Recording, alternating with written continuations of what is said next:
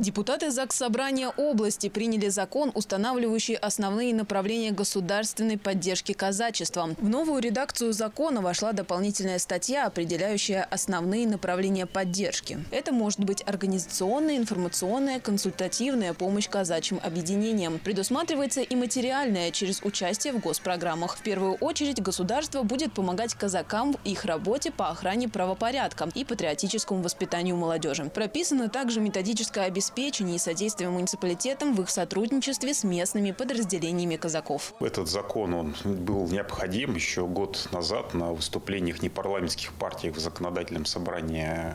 В процессе выступлений было обсуждение о том, что казаков необходимо поддерживать. Все-таки это у нас такой оплот патриотизма, воспитания, там, порядка. Поскольку на реализацию новаций могут потребоваться средства, решено, что в полном объеме закон вступит в силу с нового финансового года с 1 января 2024 года.